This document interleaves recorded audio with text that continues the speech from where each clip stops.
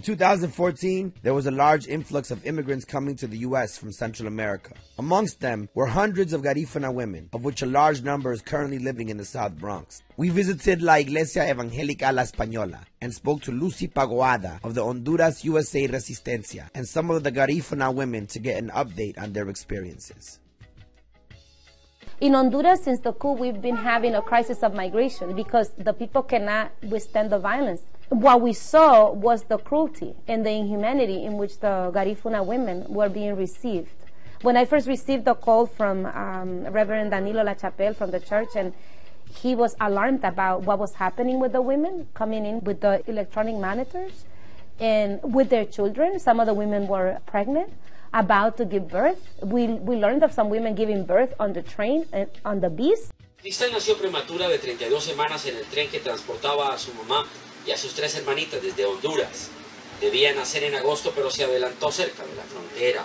Despite of the fact that these women and all these families meant to uh, Garifunas and non-Garifunas, because we also have to understand that this is the situation of the entire country. When they come here, the empire ruling uh, superpower of the United States decides that now we're going to treat them like criminals. We cannot speak about the, the incredible uh, levels of violence that Honduras is undergoing today without referencing to the uh, direct influence that the United States has had in Honduras historically. If we go back to the 1950s with the implementation of the fruit companies in Honduras that uh, practically took over a huge part of the land to plant bananas, and as a result, Honduras became like this huge platform of banana production, and, the, and, and that also involved the, the enslavement of the Honduran people to work in these companies in horrendous conditions, to the point that in 1954, uh, Honduras had the first uprising of the workers.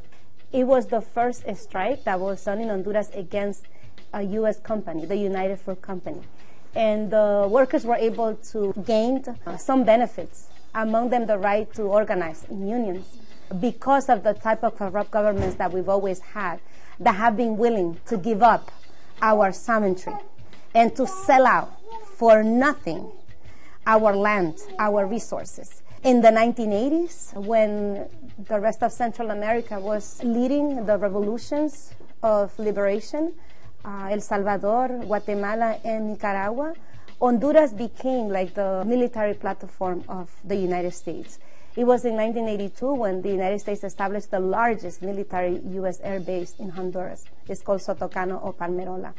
That air base was the platform of the Contras, if you remember the, the biggest scandal of the Contras, to go and fight against the Sandinista revolution as well as the, uh, the Salvadorian FMLN revolution that's not to say that in Honduras there, there, there, wasn't a resistance. There has always been a resistance of the people, but we have always had to fight against the huge, violent U.S. Uh, military boot.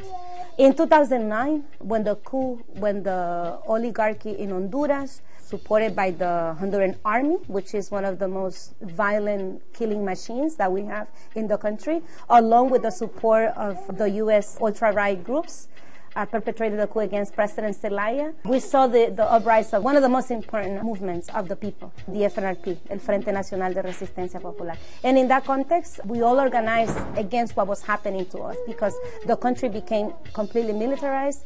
We know that the United States was leading the coup.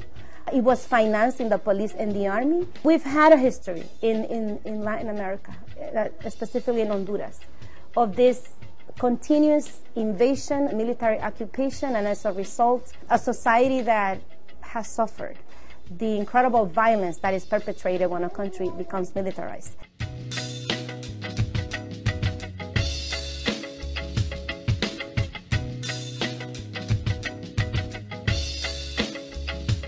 Son dos problemas que me hicieron tomar esa decisión de venirme porque estaba teniendo muchos problemas ya de violencia doméstica y ya eran demasiados enfrentamientos que hacía la, pandilla y ya me estaban exigiendo pagar el impuesto de guerra. Y en, en un abrir y cerrar de ojos yo tuve que abandonar todo y salir de mi país para darle un mejor futuro a mi hijo, para que él creciera lejos de la delincuencia.